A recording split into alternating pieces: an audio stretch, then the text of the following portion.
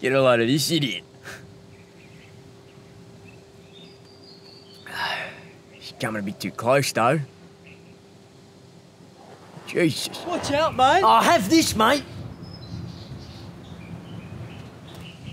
Oh, here we go.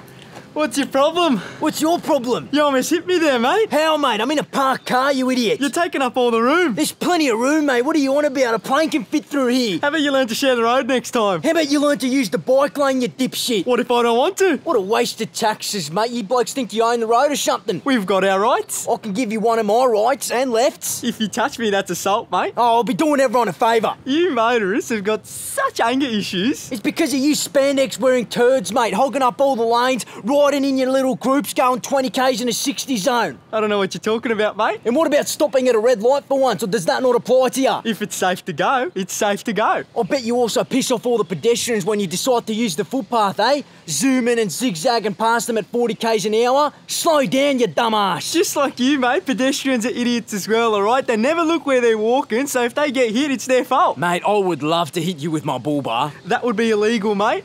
Your fucking head's illegal. Have a look at your head, mate.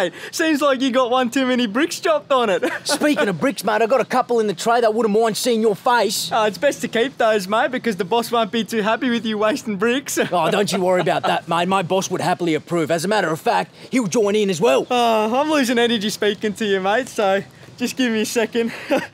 uh.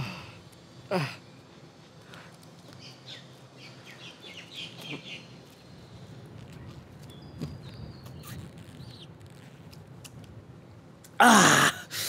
Oh, replenished. Do you ever look at yourself in the mirror and think, why am I a cyclist? Like, why am I such a deadbeat to society? I'm sensing a bit of jealousy from you, mate. I'm jealous.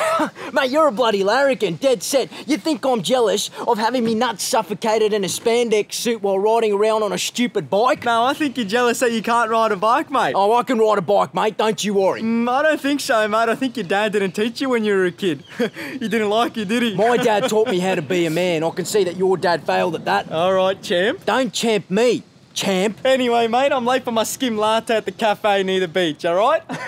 you better hope I don't see you on the road, mate, otherwise, bang! Wanker.